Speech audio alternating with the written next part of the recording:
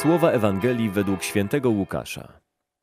Gdy zebrał się wielki tłum i z miast przychodzili do Jezusa, rzekł w przypowieści. Siewca wyszedł siać ziarno, a gdy siał, jedno padło na drogę i zostało podeptane, a ptaki powietrzne wydziobały je. Inne padło na skałę i gdy wzeszło, uschło, bo nie miało wilgoci. Inne znowu padło między ciernie, a ciernie razem z nim wyrosły i zagłuszyły je. Inne w końcu padło na ziemię żyzną i gdy wzrosło, wydało plon stokrotny. Przy tych słowach wołał, kto ma uszy do słuchania, niechaj słucha. Wtedy pytali go jego uczniowie, co oznacza ta przypowieść.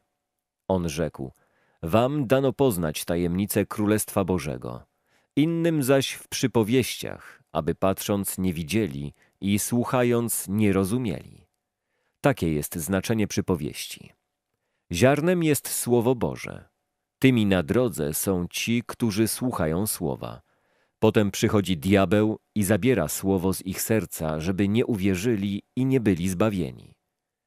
Na skałę pada u tych, którzy gdy usłyszą, z radością przyjmują Słowo, lecz nie mają korzenia. Wierzą do czasu, a w chwili pokusy odstępują. To, co padło między ciernie, Oznacza tych, którzy słuchają słowa, lecz potem odchodzą i przez troski, bogactwa i przyjemności życia bywają zagłuszeni i nie wydają owocu. W końcu ziarno w żyznej ziemi oznacza tych, którzy wysłuchawszy słowa sercem szlachetnym i dobrym, zatrzymują je i wydają owoc przez swą wytrwałość. Wam dano poznać wprost tajemnicę Królestwa Bożego – mówi Jezus do swoich uczniów, czyli do każdego z nas. Trzeba nam się dzisiaj ucieszyć tą dobrą nowiną, ucieszyć tym, że Jezus nas wybrał, aby objawić nam tajemnicę Królestwa Bożego. Objawia nam ją na różne sposoby, ale przede wszystkim poprzez swoje Słowo, którym nas karmi każdego dnia. Czytając i medytując nad Ewangelią, poznajemy zasady Królestwa Bożego – i to, jak go budować w nas i pośród nas. Wszystko zaczyna się od słuchania. Kto ma uszy do słuchania, niechaj słucha. To ze słuchania rodzi się wiara, która prowadzi nas do zbawienia. To z wiary rodzi się miłość, która już teraz na ziemi pozwala nam kosztować owoców Królestwa Bożego.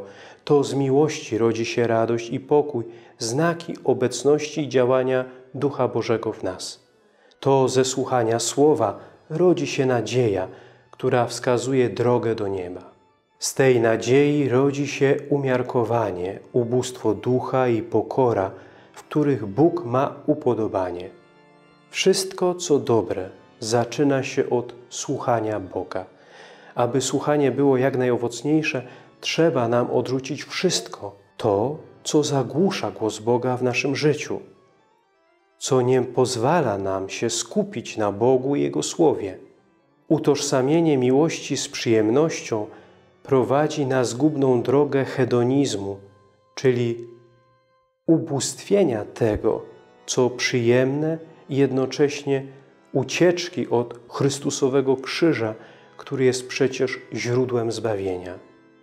Wybór takiej drogi sprawia, że sprzedajemy zbawienie, największy dar, jaki otrzymaliśmy od Boga, za niewiele warte parę chwil przyjemności na tym świecie. Karmimy się udą szczęścia, która i tak nie nasyca naszego pragnienia.